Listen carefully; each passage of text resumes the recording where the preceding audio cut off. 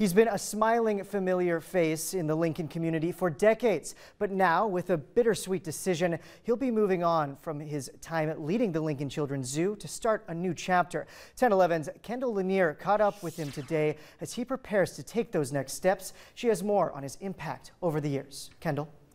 John, all good things come to an end, and after 37 years of making his mark at the Lincoln Zoo, John Chapo is reflecting on what made his time so special.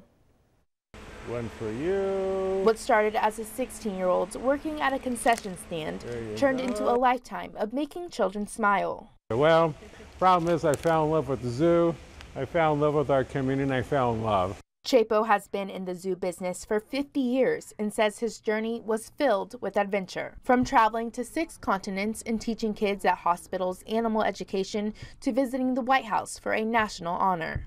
We've sent researchers off to Africa, kids off to Costa Rica and the Galapagos Islands. And so we've, we've done a lot of work here in Lincoln. We've done things globally. So Throughout his tenure, the zoo expanded three times, welcoming giraffes, spider monkey exhibits, and more. From just being a very seasonal zoo to a year-round zoo that breeds really endangered animals. We're a leading breeder in several species of animals, red pandas, Matschie's tree kangaroos. What kept Chapo coming back each day was the staff and the visitors.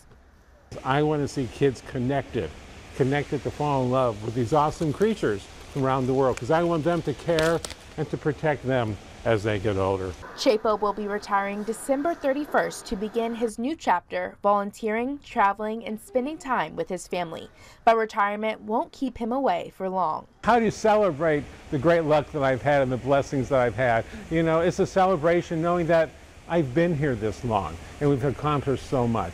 You know, this is family, this is friends, you know, uh, and so I shall return to the zoo to visit and enjoy all the labors of the great people here.